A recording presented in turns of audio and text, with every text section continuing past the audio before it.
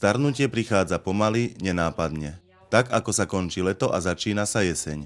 Nedá sa tomu zabrániť. Sen tam niečo bolí, objaví sa vrázka, skôr či neskôr obelejú vlasy. V dennom centre seniorov v Brezovej pod Bradlom pripravili v pondelok 21. októbra stretnutie s dôchodcami pri príležitosti mesiaca úcty k starším. Na úvod všetkých privítala vedúca centra Olga Alinová. Úctu k starším prejavili v tento deň aj deti z materskej školy na sídlisku Dušana Jurkoviča vystúpením Prichádza jeseň. Za mesto sa prítomným prihovorila primátorka Eva Ušiaková. Je dôležité, aby sme úctu k starším e, neprejavovali iba Eh, raz eh, do roka, a to v mesiaci október, ktorý je vyhlásený za mesiac úcty k starším, ale aby sme si túto úctu pripomínali každý deň v roku. Niekedy stačí milý úsmev, eh, pozdrav či nežné pohľadenie. To sú veci a gestá, ktoré môžeme dávať týmto ľuďom zadarmo.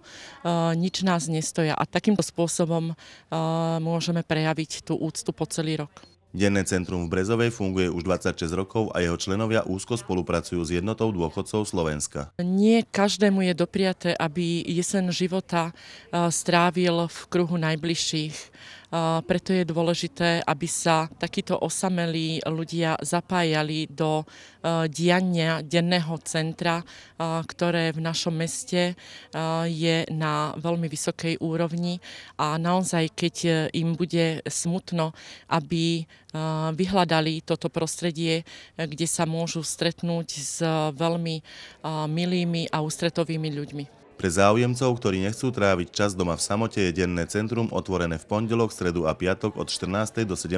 hodiny.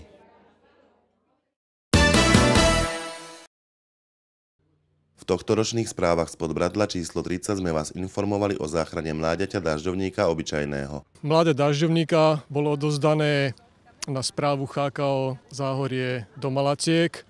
Malo len 22 gramov, čo je dosť málo, takže musí byť krmené mizom, špeciálne upraveným, bez tých mizích, tvrdých častí a tak ďalej. Následne musí mať mladý dažďovník hmotnosť aspoň dospelého vtáka, čo je asi 40 gramov. Takže po niekoľkých týždňoch mláďa dažďovníka bolo úspešne vypustené do prírody. Dažďovník obyčajný je zákonom chránený živočích, ako aj ostatné druhy vtákov. V mestách hniezdi v škárach obytných domov a iných budov. V celoeurópskom meradle jeho populácia postupne klesá. Pre záchranu dážďovníka formou vytvorenia hniezdisk sa rozhodli členovia občianskeho združenia Priatelia prírody z Brezovej pod Bradlom. Z dôvodu zateplovania ubúda možnosti hniezdenia dažďovníka obyčajného. Dažďovník je zaujímavý tým, že počas letu dokáže aj spať, vyletí do výšky 2 km, kde potom vypne jednu polovicu mozgu a tá druhá polovica automaticky riadi let. Dažďovník sa živí lietajúcim hmyzom a pavúkmi, ktorých loví z ich sieti.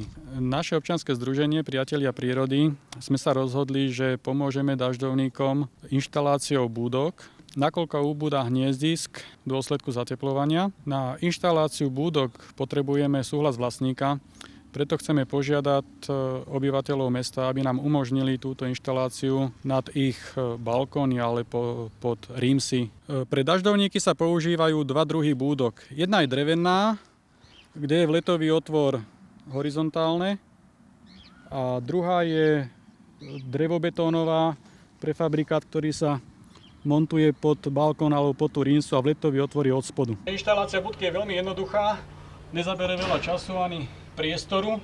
Záujemcovia, ktorí by súhlasili s inštaláciou búdok, môžu sa ohlásiť na telefónnom čísle 0905 267 153.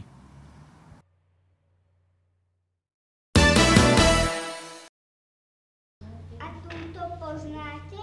Velí